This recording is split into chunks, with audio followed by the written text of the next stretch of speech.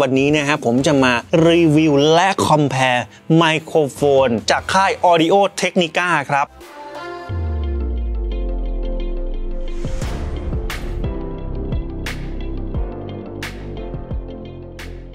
สวัสดีครับท่านผู้ชมครับพบกับผมครับนายต้นตาลครับวันนี้พบกันในช่วงสาวดีดีรีวิวครับท่านผู้ชมฮะ Audio Technica นะฮะต้องบอกว่าแบรนด์นี้มีชื่อเสียงอย่างมากเป็นแบรนด์สัญชาติญี่ปุ่น ในส่วนของหูฟังท่านผู้ชมนะฮะหรือในส่วนของไมโครโฟนเองเขามี product หลากหลายรูปแบบฮะต้องบอกว่าแบรนด์นี้ได้รับการยอมรับในระดับโลกครับท่านผู้ชมฮะผมหยิบยกไมโครโฟนแบบ dynamic ใช้สายที่มีราคาไม่เกิน 4,000 บาทท่านผู้ชมวันนี้ผมหยิบ 3 โมเดลไปดูกันดีกว่าครับ วันนี้นะฮะสามโมเดลนี้นะฮะต้องบอกว่าเป็น 3 ทหารเสือท่านผู้ชม มีอะไรบ้าง ตัวที่ 1 ตรงนี้นะฮะตัวสีน้ำเงินรูปร่างสวยงามทีเดียว นี่คือรหัส MB1K ฮะและตัวต่อมานี่คือ Pro 31 และตัวสุดท้าย Pro 41 ครับผม ท่านผู้ชมทั้ง 3 ไมโครโฟนนี้นะฮะ รูปแบบ pattern การรับเสียงแบบ cardioid รับเสียงด้านหน้าท่านผู้ชมนะฮะ แล้วก็เหมาะสำหรับการใช้งานนะอเนกประสงค์นะครับ งานพูดงานบรรยายงานร้องคาราโอเกะอย่างนี้เป็นต้นนะฮะ เพราะว่ารูปแบบการรับเสียงแบบ cardioid นี่ก็คือรับเสียงด้านหน้าโดยเฉพาะลดเสียงรบกวนที่อาจจะเข้ามาจากด้านข้างหรือด้านหลังได้ดี ต่อมาฮะทั้ง 3 รุ่นนี้มีสวิตช์ on off หมดเลย และวัสดุทั้ง 3 โมเดลนี้ท่านผู้ชมเป็น die-cast เป็นโลหะขึ้นรูปงานดีทีเดียวฮะ สมชื่อ Audio Technica ท่านผู้ชมแบรนด์นี้ใครไม่เคยรู้จักต้องหันมองกันเลยทีเดียวฮะ สิ่งที่แตกต่างกันทั้ง 3 โมเดลท่านผู้ชมหลัก ๆ ก็จะมีในเรื่องของ frequency response หรือความถี่ตอบสนองนั่นเองฮะความถี่ตอบสนองคืออะไรฮะก็คือย่านความถี่ที่เขาสามารถรับเสียงได้ ที่หูมนุษย์ของเราได้ยินก็คือความถี่ตั้งแต่ 20เฮิรตจนถึง 20 k เฮิรตครับใครยังไม่ทราบเรื่องนี้นะฮะและอยากศึกษาเพิ่มเติมสามารถดูบทความนะฮะในส่วนของคลังความรู้ของซารีดีของเราได้นะครับสำหรับเจ้า MB1K ตัวนี้ฮะอยู่ที่ 80 ถึง 12K ท่านผู้ชมนะฮะและถ้าเกิดเป็นเจ้า Pro 31 ล่ะ Pro 31 อยู่ที่ 60 นะฮะถึง 13K ช่วงของเขาจะกว้างขึ้นอะกว้างกว่าตัว MB1K นะครับ และในส่วนของ Pro 41 ก็อยู่ที่ช่วง 90ถึง 16K ครับ สังเกตง่ายๆ ตัวนี้ก็จะโดดเด่นในเรื่องของย่านเสียงแหลมอย่างแน่นอน เพราะว่า frequency response เนี่ย กว้างนะ ลากไปถึง 16K นะครับผม ในส่วนของ sensitivity ความไวฮะ ค่า sensitivity ก็คือยิ่งตัวเล็กติดลบมากเท่าไหร่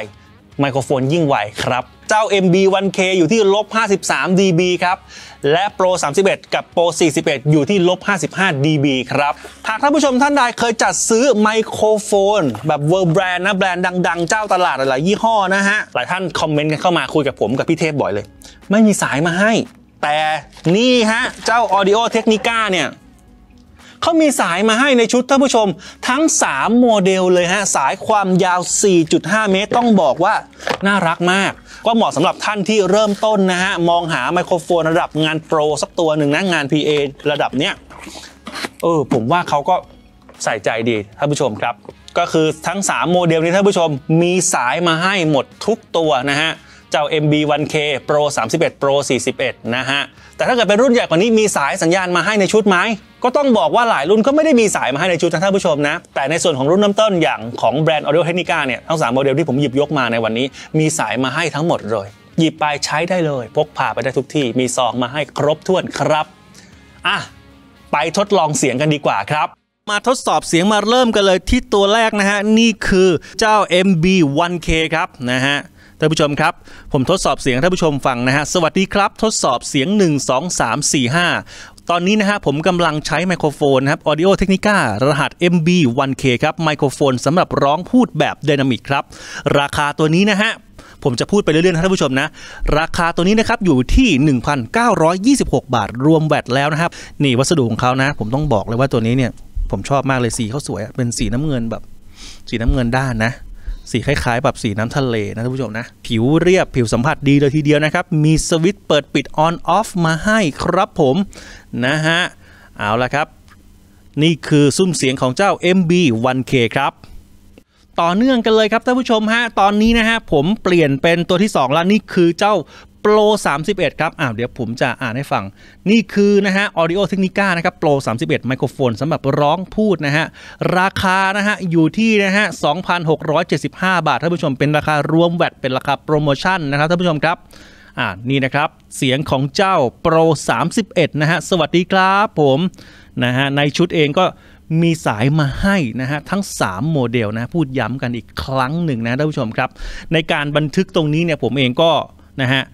ใช้เกณฑ์เท่ากันนะฮะนี่บันทึกเข้าไปที่อินเทอร์เฟซไม่ผ่านการปรับแต่งนะฮะและนี่คือเจ้า Pro 31 ครับ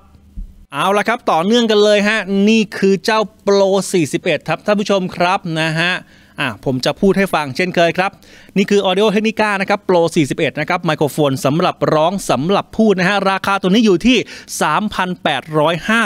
3,852 บาทครับท่านผู้ชมฮะ ทั้ง 3 ตัวนี้เป็นไมโครโฟนแบบไดนามิกนะครับ รูปแบบการรับเสียงแบบ cardioid ครับ และนี่ก็คือเจ้าตัว Pro 41 นะฮะท่านผู้ชมฮะ รูปร่างจะคล้ายกันนะกับเจ้า 31 เนี่ยแตกต่างกันที่สีนะของหัวไมโครโฟนเนี่ยนะฮะ และอย่างที่ผมเรียนไปทั้ง 3 ตัวนี้นะฮะ ราคาไม่เกิน 4,000 บาทนะฮะท่านผู้ชมครับ เอาละครับ ประมาณนี้ครับผมครับท่านผู้ชมฮะนี่ก็เป็นการทดสอบเสียงนะฮะของไมโครโฟนจากแบรนด์ Audio Technica ครับผมนะฮะทั้ง 3 โมเดลนะครับเป็นยังไงกันบ้างฮะท่านผู้ชมฮะอย่างที่ผมเรียนไปฮะนาทีนี้นะฮะมีไมโครโฟนใช้ส่วนตัวเองสักชุดหนึ่งก็เหมาะเป็นอย่างยิ่งฮะจะได้ใช้งานได้อย่างสบายใจครับ และราคาที่ผมหยิบยกมารีวิวและกึ่งคอมแพร์ในวันนี้ท่านผู้ชม ไม่เกิน 4,000 บาท จับจองเป็นเจ้าของได้อย่างสบายครับผม ได้ไมค์คุณภาพระดับ World Brand ครับผมเอาละครับสำหรับวันนี้ก็ประมาณนี้ครับท่านผู้ชมอย่าลืมกดไลค์กด Subscribe เป็นกำลังใจให้ทีมงานนะฮะกดกระดิ่งเพื่อติดตามข่าวสารใหม่ๆฮะช่วงนี้อยู่บ้านดูรีวิวผมกับทีมงานสบายๆครับ แล้วพบกันใหม่คลิปหน้าครับ ขอบคุณและสวัสดีครับ